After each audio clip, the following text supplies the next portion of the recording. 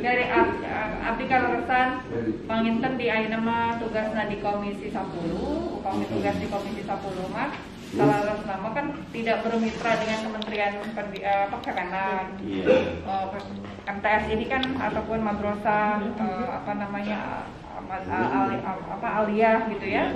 Sanawiyah kayak gitu-gitu. Biasanya kan di bawahnya Kementerian Agama. Iya. tapi ini mah qadarullah karena Allah eh, dekatkan saya dengan Bapak dengan Anissa gitu Teh Anissa gitunya jadi eh, dari tahun 2017 siapa ya orangnya ya silaturahim inilah yang membuat apa pun bisa terjadi gitu ya kalau Allah mudahkan bisa terjadi.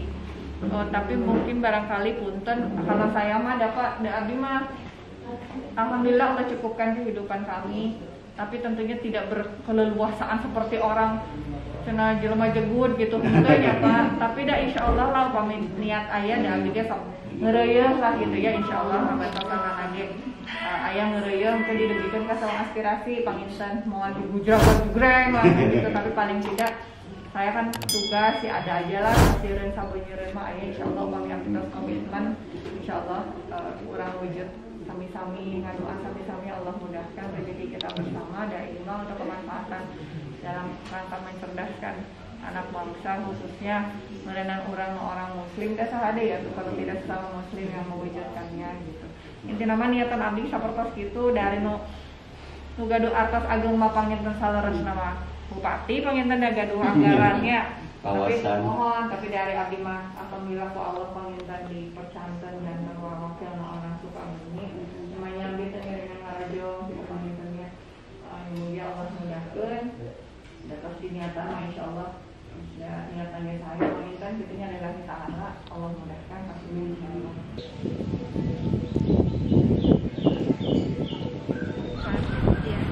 DG beberapa tembok nu digentos.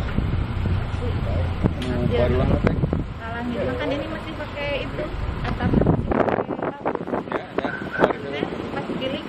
Oh iya. Salah tuh. Udah teh. Ayo. Ora segera Turun ya. ke sampai jumpa sehat ya. Ah. Pagi. Sehat Bapak Nun Alhamdulillah jantan anda tidak dijaga ke mana-mana tuh jantan. Assalamualaikum warahmatullahi wabarakatuh. Saya Desi Ratnasari. Saat ini saya sedang bersama seorang pengrajin yang bagus banget ini memanfaatkan dari kearifan lokal dan sumber daya lokal, kemudian bisa menjadi sebuah nilai ekonomi dan insya Allah bisa mensejahterakan masyarakat di sekitarnya. Saya sedang bersama Bapak CH, singkatannya apa tuh Pak? Dudang Cahyadi. Oh, Oke, Bapak Cahyadi. Beliau ini punya galeri batu alam. Ini dia hasil karyanya. Coba didapetin. Nih, beliau memberikannya kepada saya dan ini hasil bahatannya beliau sendiri. Semoga barokah untuk keluarganya, semoga barokah untuk masyarakat di sini dan tentunya ini adalah merupakan eh, apa ya usaha bersama yang bisa mensejahterakan masyarakat sekitar dan tentunya insya Allah pemerintah bisa hadir di sini untuk memberikan peningkatan keterampilan sumber daya manusianya sehingga hasil-hasil keterampilannya menjadi lebih baik lagi di masa depan. Terima kasih. Assalamualaikum.